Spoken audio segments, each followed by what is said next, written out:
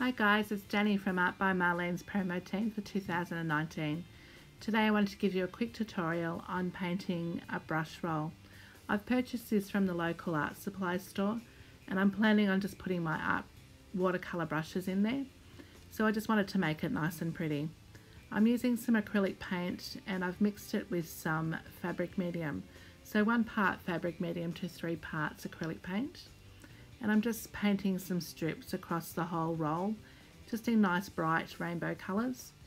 I've had to give each section two or three coats just so I've got a nice opaque finish. I'm now extending that paint into each other sort of trying to help it to blend and look a little bit more organic so it's not so patchy. So I've got a nice interesting background. I'm using some of the Art by Marlene art foamies here. I'll list all the stamps I've used in the description below. I'm using a jelly plate to load the paint up onto the art foamies.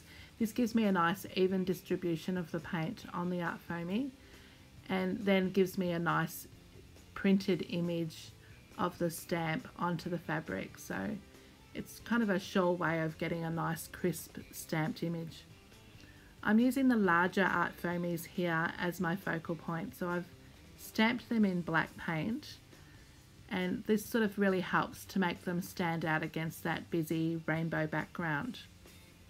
Once that paint's dry, I'm going to use some Posca pens and some Pitt pens here to really colour in those little negative sections and give them their own little brightness, making them a real focal point on the actual roll itself.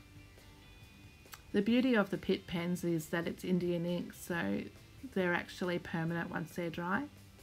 I'm using those Pitt pens in the background and I'll also use Posca pens to highlight and to also outline those images so that they really stand out from that busy background.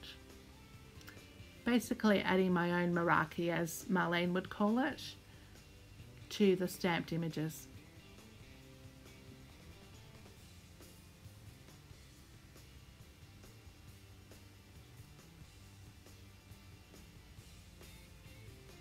Now I'm just using some Posca pen in the background to highlight and do a bit more mark making. Same with the Pitt pens here, just to add a little bit more visual interest in the background. And to highlight and brighten some of those stamped images in the background as well. And that's basically it. That's the finished roll. Was really happy with its outcome. If you enjoyed this tutorial, please give me a thumbs up and leave a comment. I'd love to see what you think. Thanks for watching guys.